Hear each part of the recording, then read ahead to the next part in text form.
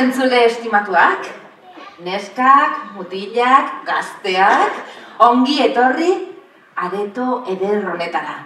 Erosoak zaudete? Bai? Ondo pasatzeko gogoz? Ba, ireki ongi begiak eta batez ere belarriak historio zoragarri bat kontatuko dizuet eta. Ba,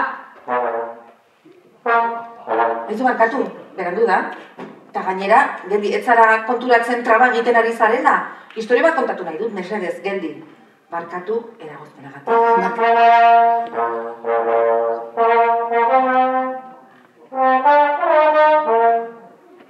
Aizu, mesedez, geldi. Historia bat kontatu nahi dut eta nik hitz egiten dudan bitartean zu tromboia jotzen baduzu, ez da ezertxo ere ulertuko duan, mesedez. Isilik, geldi, geldi, geldi. Bueno, ia, irugarren aldiz, orain hasiera hasieratik hasiko naiz berriro. Bazen be... Ez ez barra egin gainera. Ai, zu mesedez. Mesedez, zin da zure izena. Inar. Kaixo, Inar. Eta uste dut, ez duzula gelditzeko asmorik, ez? Bai, suposatzen nuen. Ba, mm, beitu Inar, ideia bat daukat. Zer iruditzen zeizu, nik historioan nire hitzez kontatzen badut, eta zuk musikarekin laguntzen badiazu historia kontatzen. Bai? Ba, hori, hori egin dugu. Hori egin dugu. Baina, hasi baino lehen, mesedez, ez, ez, ez, hasi baino lehen, jakin behar duzu zertan doaz historia. Eta horrela, ba, musika egokiren bat aukeratuko duzu. Ba, behitu, da Feliperen historioa. Eta Felipe aur bat da. Uh,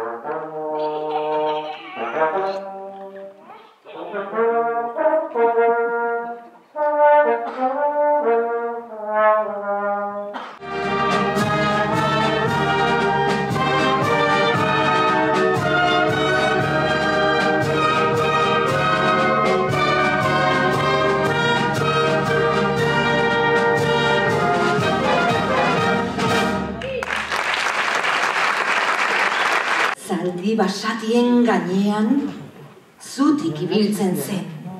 Lepoaren inguruan, Amazon asko suge izugarriak jartzen zituen, duda mudarik egin gabe. Saharako eskorpioiei eta Siziliako tarantulei besoetan gora ibiltzen eta besagainetan jartzen uzten zien. Felipek asko miresten zuen ama.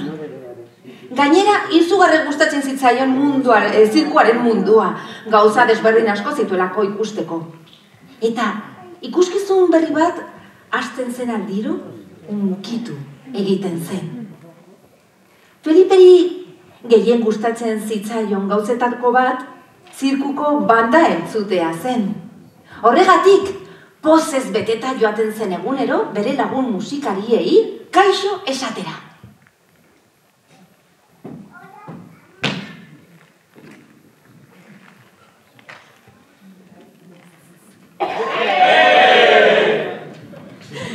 Musika banda zoragarria zen. Aizez eta perkusioz musika tresnez beteta. Ez zitzaion ezer falta. Bazuen, noski, txirula,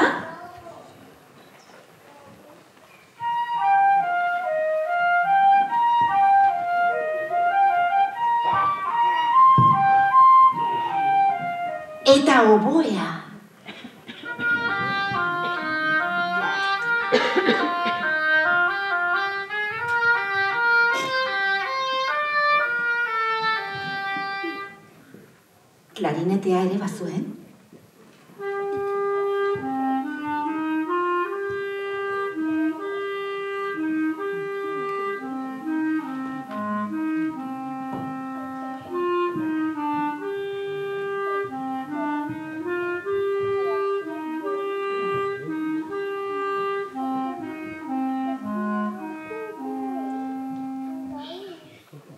Eta klarinete basua.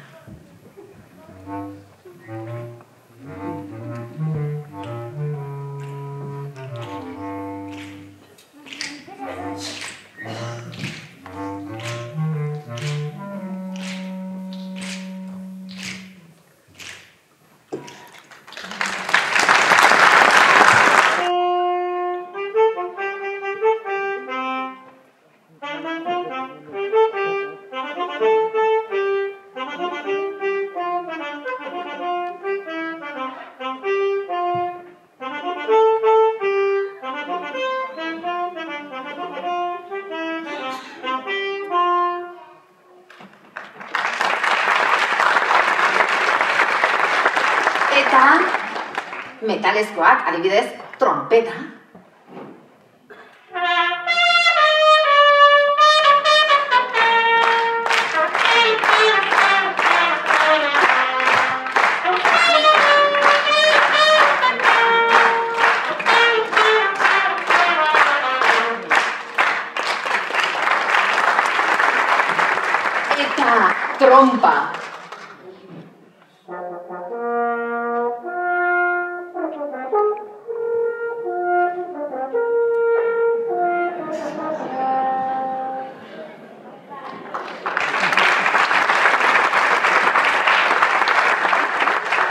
Noski, bueno, ezagutzen dugu inar, baina, baina beste tromboi batzuk baziren.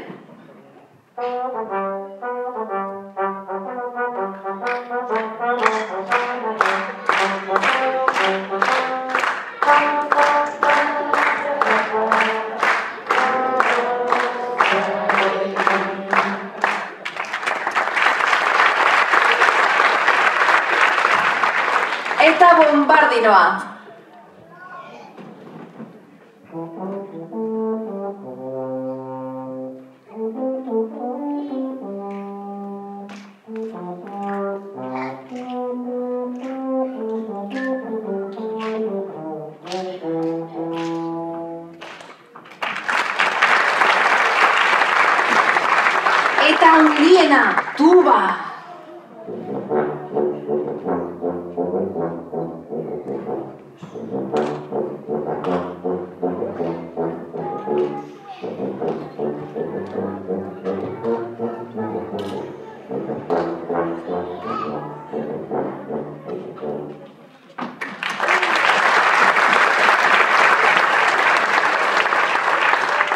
Eta Felipek oso ondo pasatzen zuen perkusio jotzaile begira.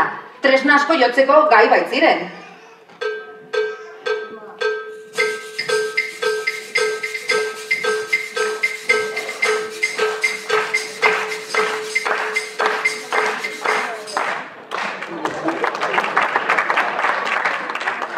Mesedez, Felipe. Baina, haien guztien aurrean, Felipek bere ama miresten zuen artista bat zegoen, bandaren zuzendaria. Ama gaizen animalia basatia haiek guztiak ezteko.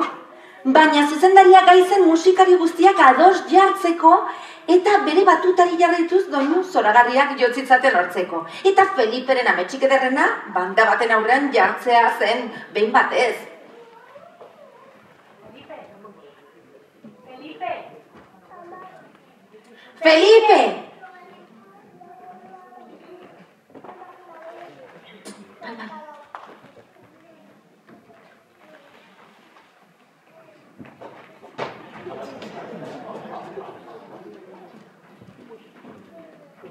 ¿Por público?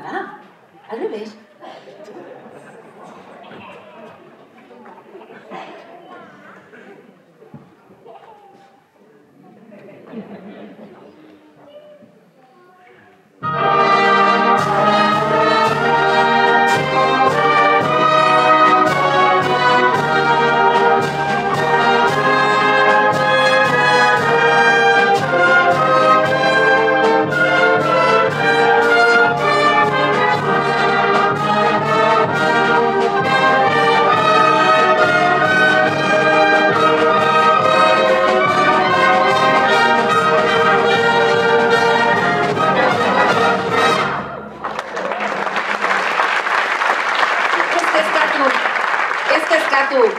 Felipe, oso ongi dago praktika pixka batekin, oso ongi egingo duzu.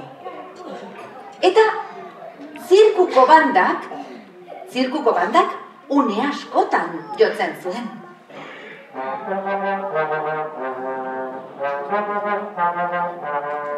Adibidez, elefanteak sartzen zirenean,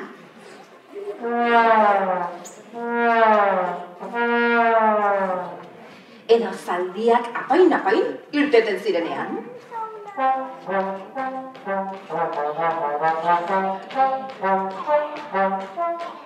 Edo noski, paliazuek txantxak egiten zituztenean.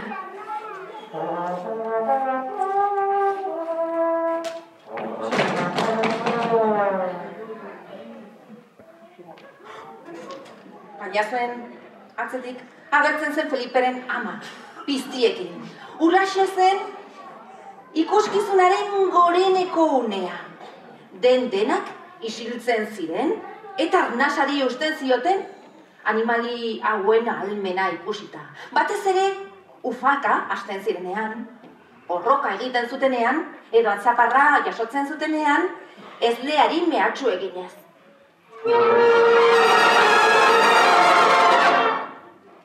Baina, basakeria hark etzien askorako balio. Ze azkenean, suzko uztailaren bidez jauz egiten zuten, bere gorputz indartsuekin eta hile luzeekin, zirkua betetzen zuen ikusentzulei gozaraziz.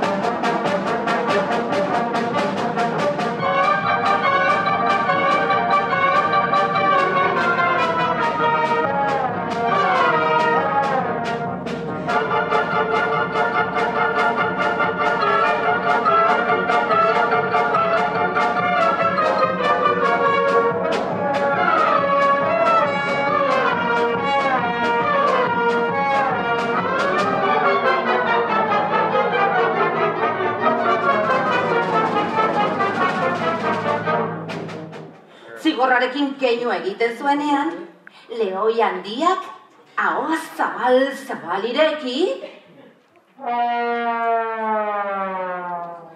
eta antxe sartzen zion burua Feliperen amak, bat ere beldurrik gabe.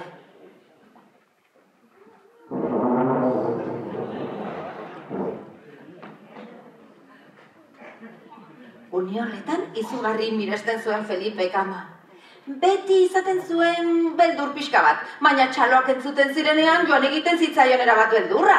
Eta oso arro sentitzen zen, hain amadoretsua edukitzeagatik.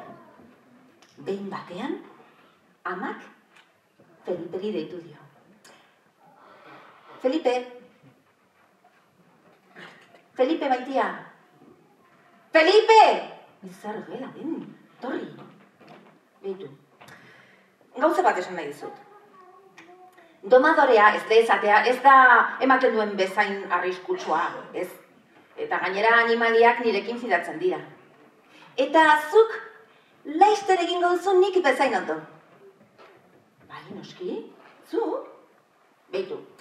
Gure senide guztiak, nire aita, nire amona eta aurreko belaunaldi guztiak zirkuko domadoreak izan dira. Eta ni zartuko naizenean eta ezin dudanean egin, zuk jarraituko duzu familiako tradizioa. Bai? Zu izango zara urrengo domadore berria. Tori, praktikatzeko. Tori. Ui, ze potxolo.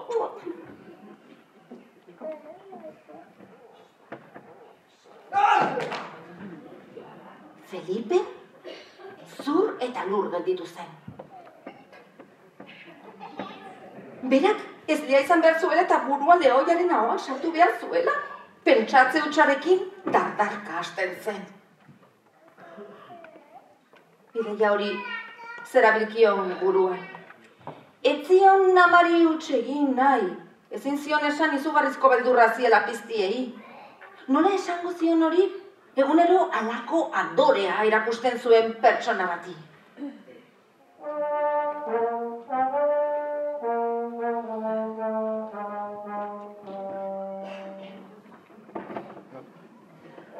Orduzkeroztik Felipe zirkuko karparen atzean gertitzen zen, atal bat hasten zen aldiro. Eta lurrera begiratzen zuen, triste, triste.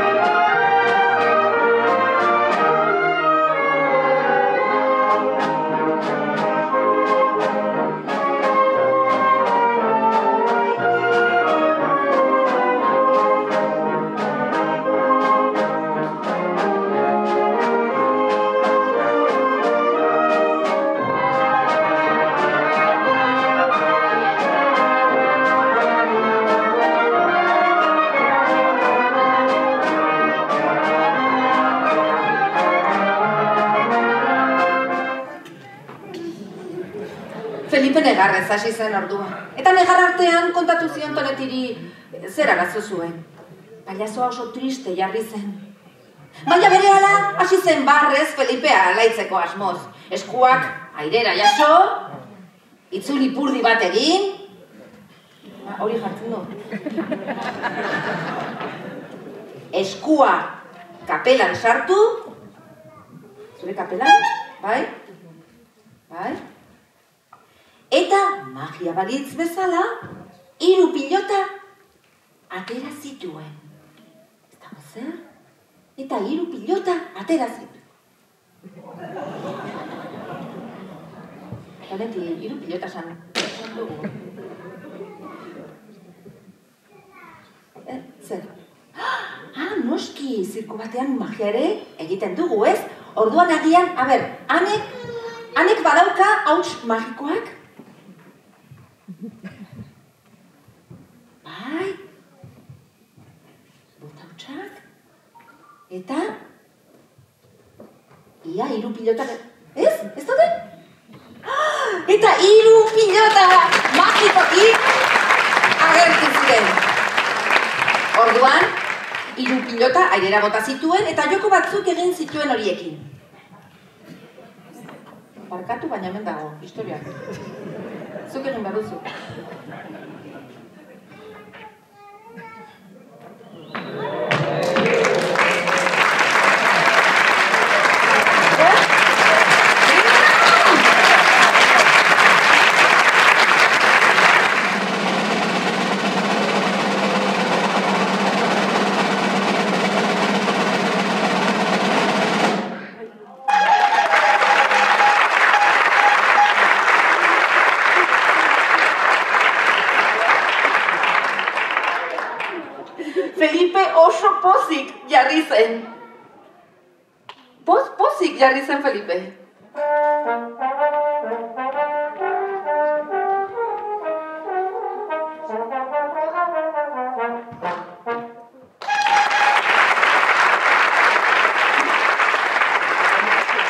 Eta, ondo egitea lortu zuenean, izugarrizko sorpresa bat izan zuen. Toneti hurbildu zitzaion, eta honela esan zion. Bihar, malabarren ekitaldia egingo duzu nirekin batera,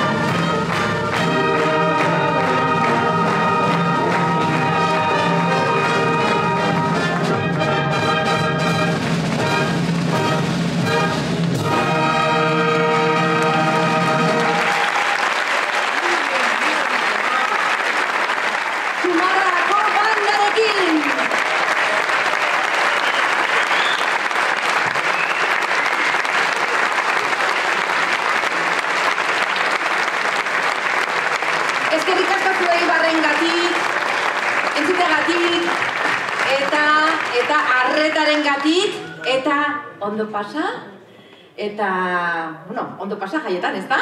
Orduan disfrutatzera, eskerrik asko, eta horrengo arte.